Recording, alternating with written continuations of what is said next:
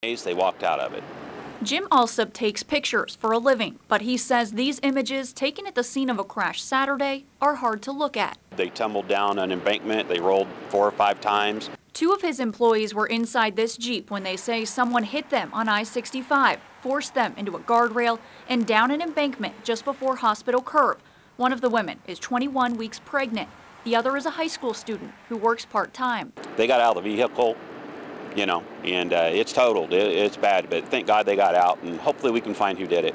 Police say the call came in as a hit and run. So I opened the door, it looked out, and the car had came off the expressway.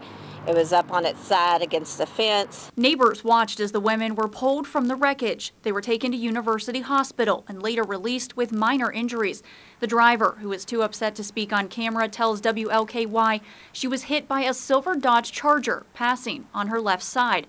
Witnesses say that vehicle exited 65 and kept going. It's just sad, you know, that somebody would do that to another human and leave people there that you don't have a clue. Alsop believes the Charger has damage to its right side. I don't care if you're high, drunk, priors, uh, you know, it's just sad that somebody would do that, and we need to get them.